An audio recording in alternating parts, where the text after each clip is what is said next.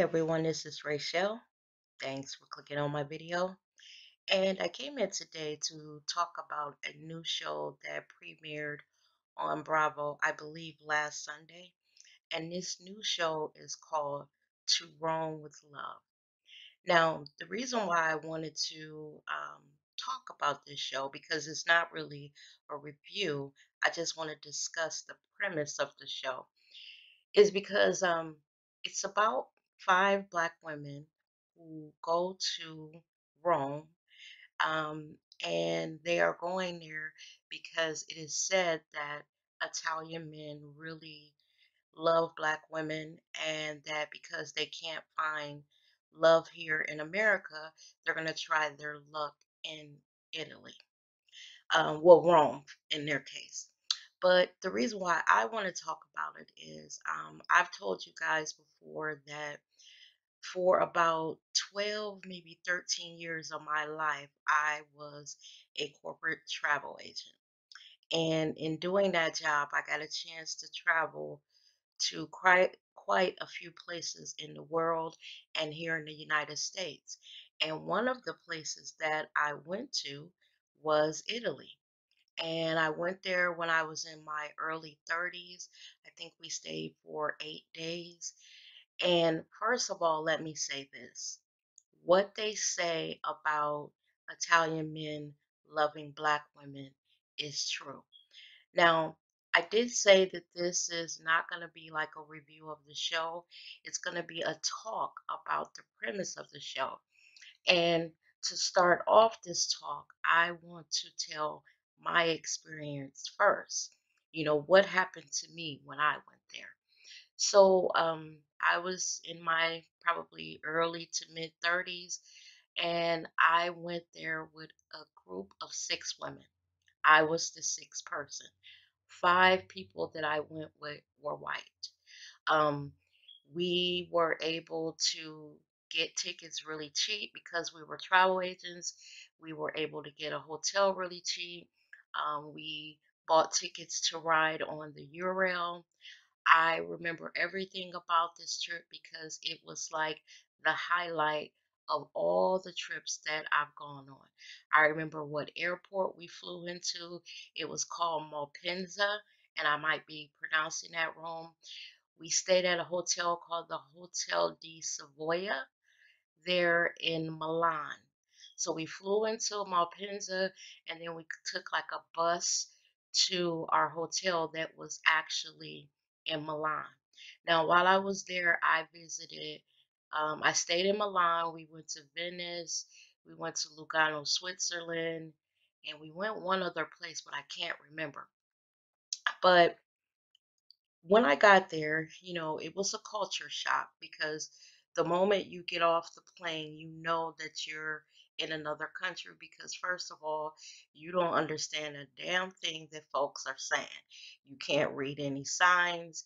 You pretty much don't understand your money because we had to change, you know, our money until, you know, to lira, which is, you know, what they call their money instead of instead of the dollar.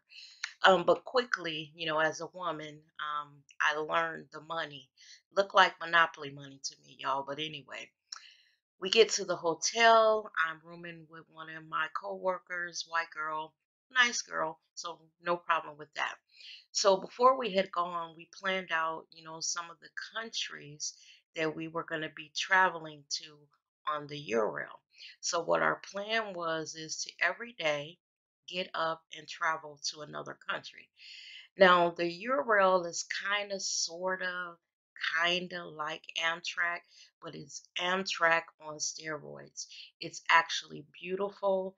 The cars that you're in, that you ride in, are gorgeous. Um, they have people come along uh, with um, a tray with refreshments on it, coffee, tea, sweets, and all of that.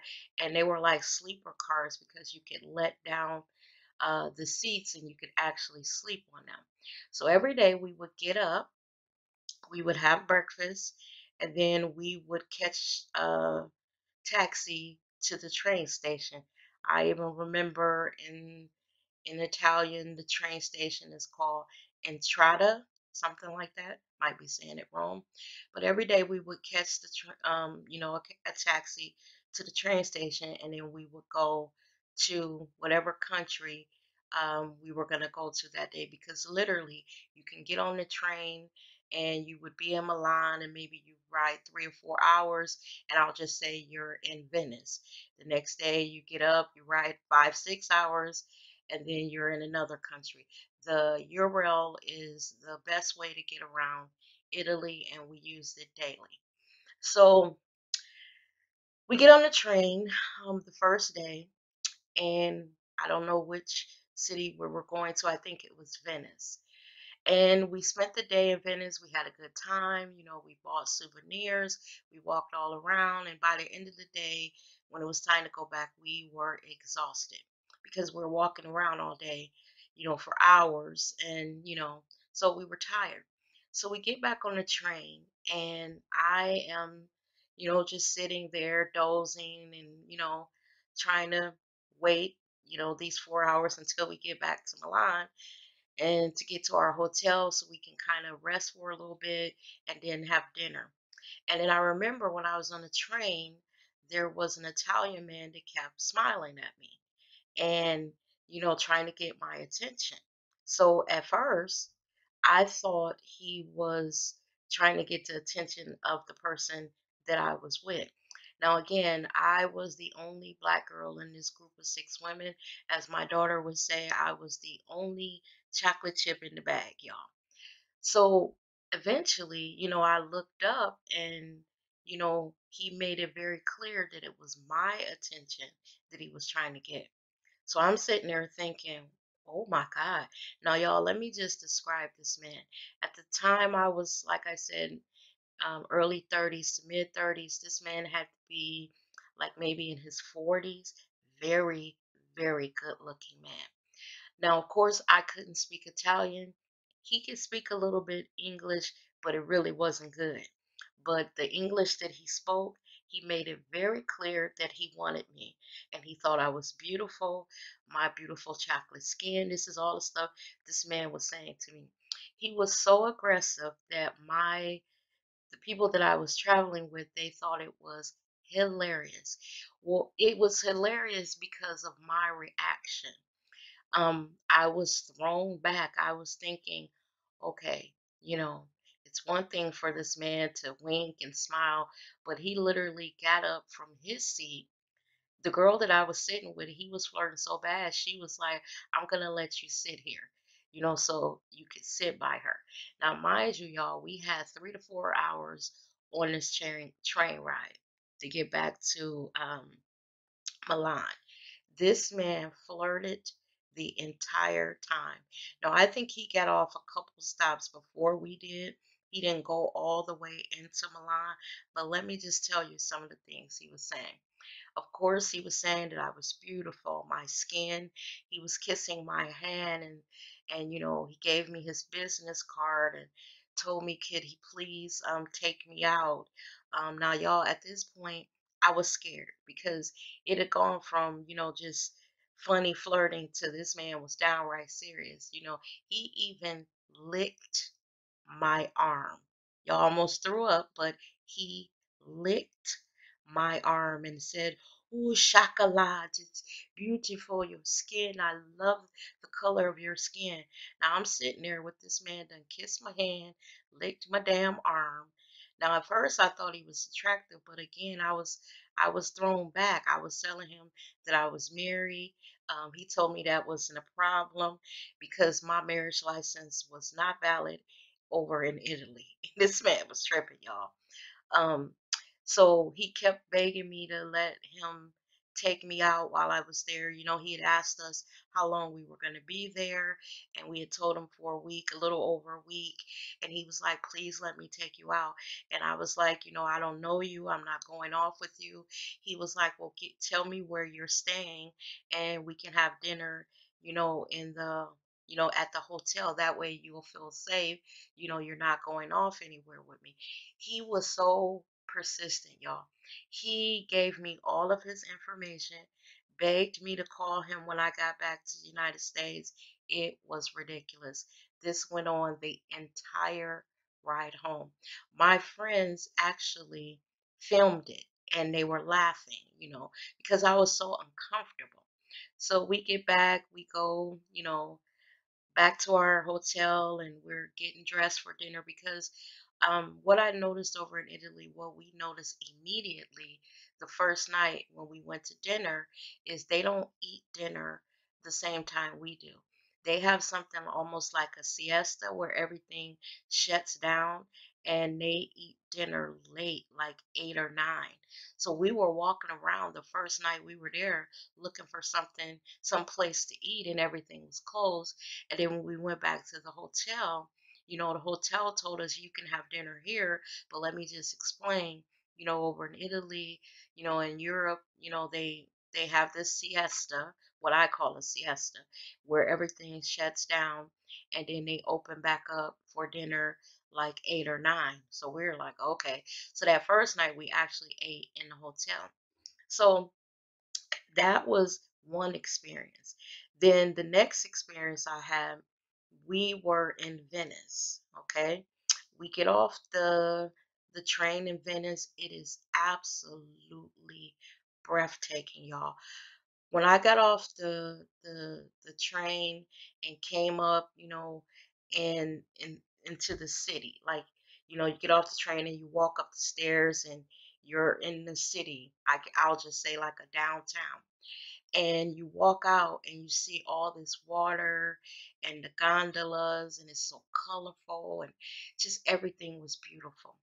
The moment that I got off the train, you know, you get off the train, you wait for your friends, everyone is running to the restroom and so you're standing there, you know, waiting for everyone to gather back up, the group to gather back up. And while I was standing there, uh, a group of young Italian men were like catcalling me. And what I mean by that is they were saying just, you know, you're beautiful, look at you, blah, blah, blah. I, and I was standing there like, what is going on? Now, remember, I had already had the experience with the man on the train, and I thought that was just an isolated event. But standing there in Venice, it was happening all over again. And when my group, you know, got back together, they were saying stuff like, Rachel, it seems like you are the flavor of the month over here.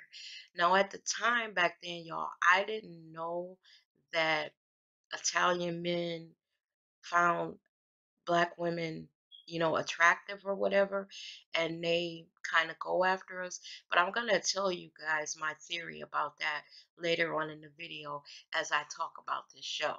So we're walking around um, Venice, again, sightseeing, and all throughout the day, every place we visited, these Italian men, y'all, they were acting like I was a top model. Now, y'all, I am just the average black woman. Just the average black woman. I know how to put myself together, throw my makeup on, and do my hair, but I'm just the average black woman. Y'all, I am not even five feet tall. I am four foot eleven. So it wasn't like I was a long-legged beauty marching all over Venice. You know, back in my 30s, I still had my shape and everything though, but you know, I'm just the average black girl. So I'm wondering, you know, what the hell is going on? Because, you know, I had no idea that these Italian men are like this over women of color. Um, this went on all day. You know, one at one point we had went to I- I'm gonna tell y'all it was a cheese store. We were so hungry because because of the language barrier, we didn't know how to order food. The only place we could order food and we knew what we were going to be getting was at McDonald's.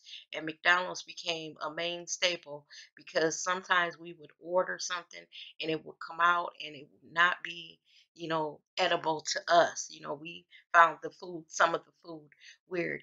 Uh, it had gotten to the point where at one point I was only eating lasagna and spaghetti because on the menu, lasagna and spaghetti pretty much look like it does in America. So it was easy to understand. So I was the spaghetti lasagna eating little black girl.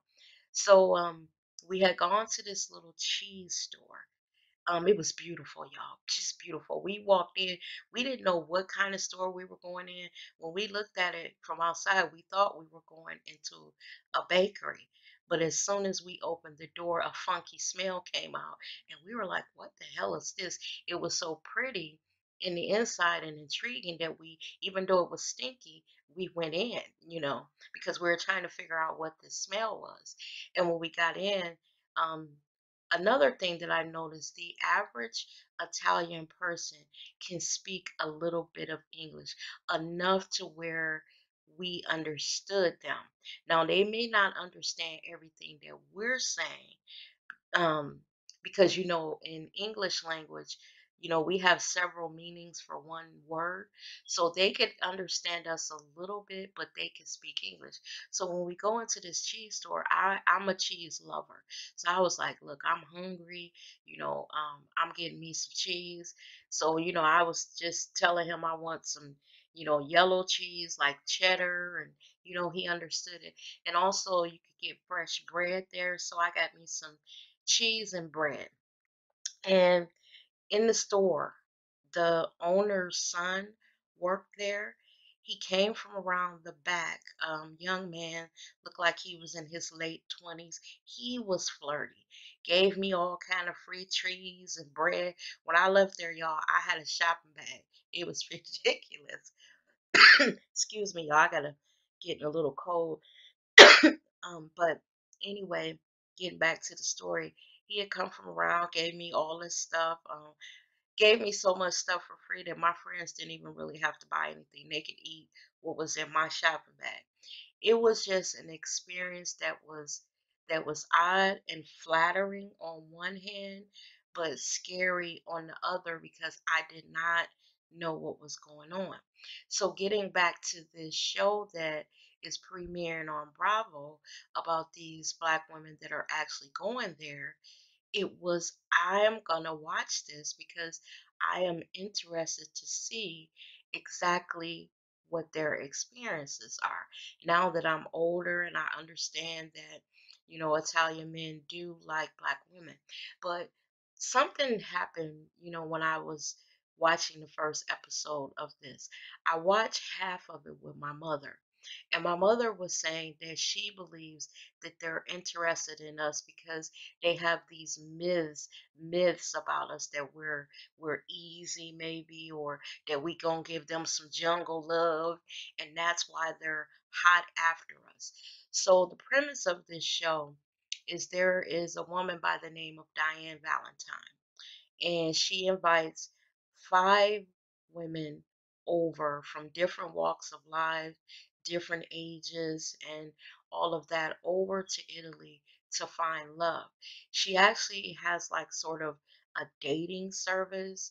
Um, she has a little sidekick, uh, Italian woman, native Italian woman that actually speaks the language and helps her find dates for these black women, these successful black women, they find them suc successful Italian men.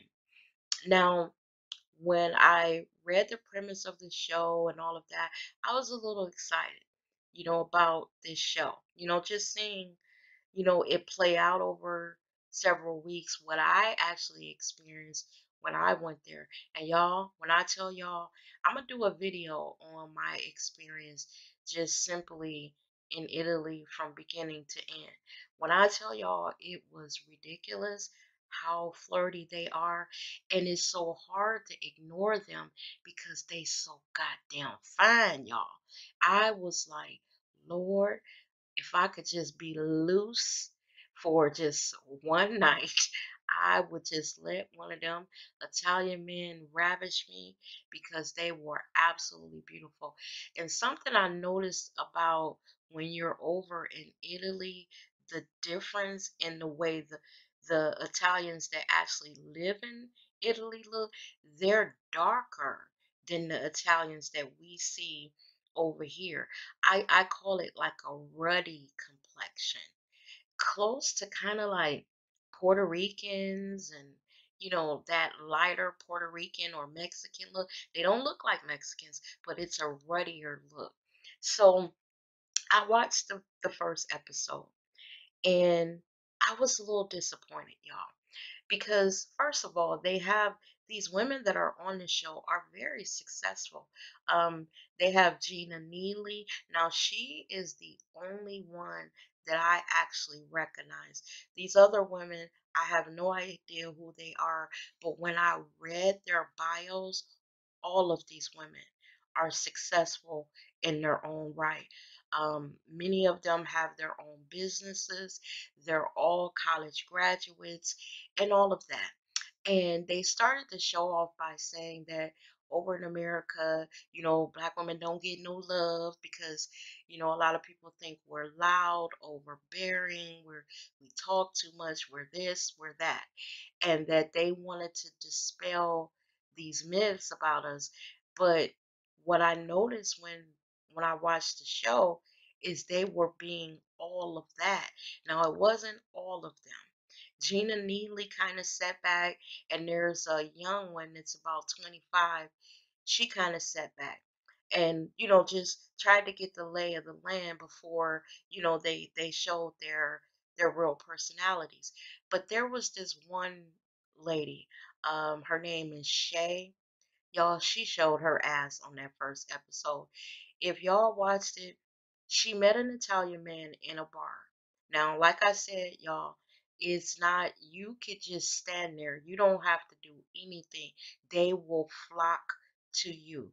They will spot you in the bar, the restaurant, the street, or whatever, and they will flock to you.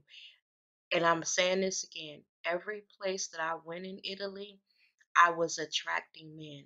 It was not even my intention, but it happened every day, all day. So this one, she meets this guy in a bar. They get to talking and flirting and everything. And to me, this is how I feel about the flirting over there. As a black woman, because they're flocking to us, you do not have to try. To me, she was being a little bit too much. I would have stood back and let him talk to me. Now, they continued to talk, and she kind of went off with him. And out on the street there in Rome, her and this guy were kissing, busting slob, and all this. Um, she let this man kiss all over her. Now, let me just tell y'all, like I said, the the temptation, because these men are absolutely gorgeous, the there is temptation because I'm trying to think now um, that I'm older and I understand it would I have had dinner with that guy at the restaurant in the hotel? Who knows? Maybe now that I'm older and I'm, you know, this is, you know, 10, 15 years later, and, you know, I have more life experiences, and I knew that the hotel would have been a safe bet because he couldn't have drugged me out the hotel with all those people in it. And I'm also divorced now. You know, I might have had dinner with him because let me tell y'all, these men are fine. But go, getting back to this series, she goes kind of off with him. They're busting slide. She comes all back to the, you know, the other ladies, and she has him following her, and she's so secure, and that she has snagged this Italian guy on the first night. But when I was watching it, I was thinking to myself, you're making yourself look easy, you know? And some of the things that the Italian guy was saying because they had to use subtitles because they have broken English and they may say the wrong word. So you got to kind of think about what they're saying, you know? So some of the things that he was saying rubbed me the wrong way. You know, he was treating her like a good lay, like he was going to be laying up with her that night. It just didn't feel right. And the other ladies tried to call her on it, you know, telling her, You don't know this man from Adam.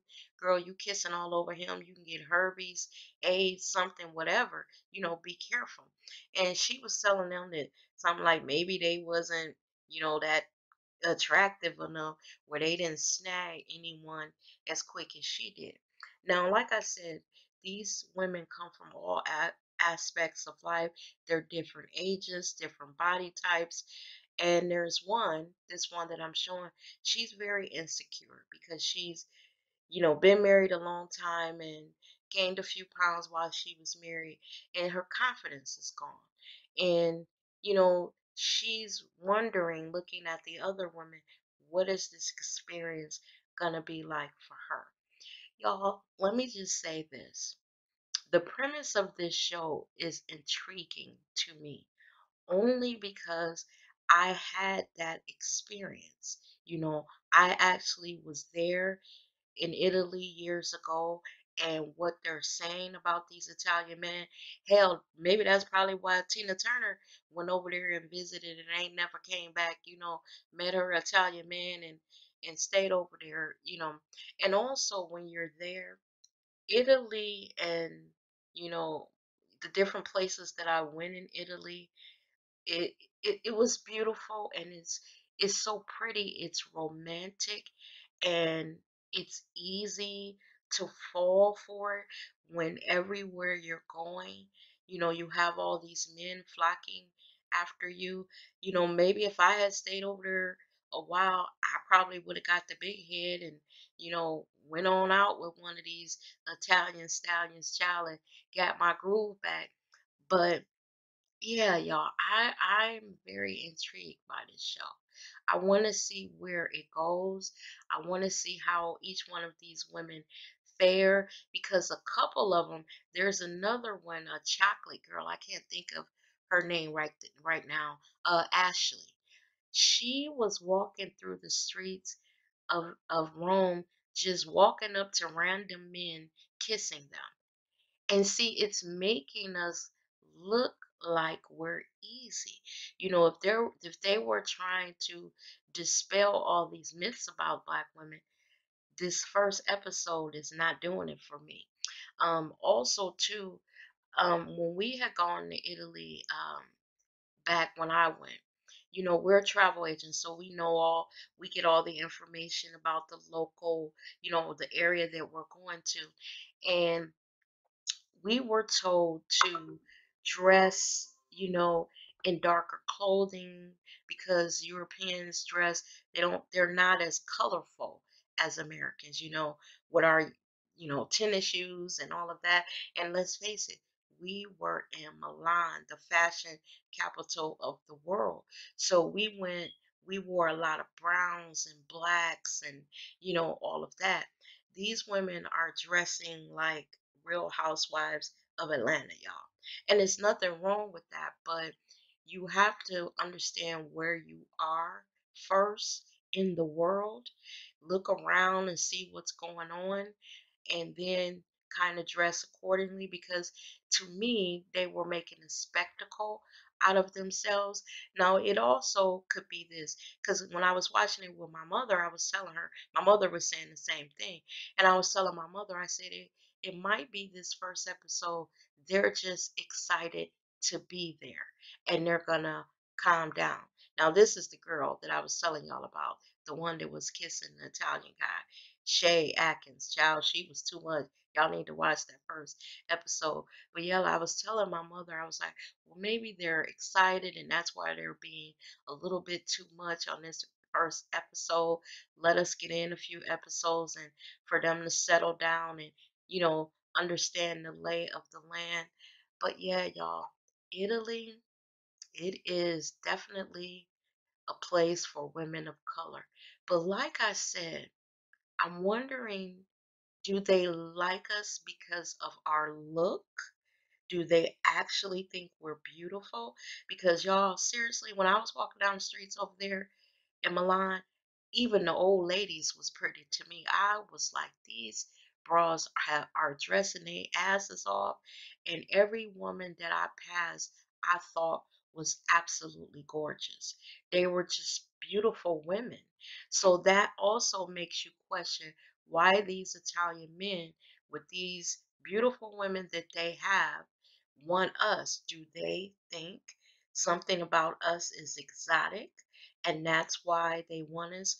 Now, I'm not saying that some of these fellas can't be genuine because a lot of times the women were just walking down the street and um, In one instance, the girl, Ashley, the the pretty chocolate girl, she was in the airport. She had just got off the plane and she was walking with her luggage and she walked past a, a gentleman and he said, My God, you're beautiful. So, you know, it could be genuine, but it makes you wonder, you know, this love of black women, is it that they just want to screw us or do they genuinely find us attractive? Now, y'all, my experience over in Italy, it was one of the, like I said at the beginning of the video, it was a feast for the eye because the the country, it's beautiful. It looks like something out of a a, st- a storybook, especially when I went to Switzerland and we went to where the story of Pinocchio started and I bought a wooden Pinocchio for my daughter and just bought a lot of souvenirs and I bought um, chocolate because you know they're known for their chocolate. It was so much stuff, y'all and it is an experience. Um, now, when I went, I we didn't go to Rome. Like I said, we went to Venice. We were in Milan, Lugano, Switzerland, where we went to where allegedly Christopher Columbus was supposed to have sailed from. I can't think of this other place we went to. But yeah, it was it was a treat, y'all. It was something that I will never forget.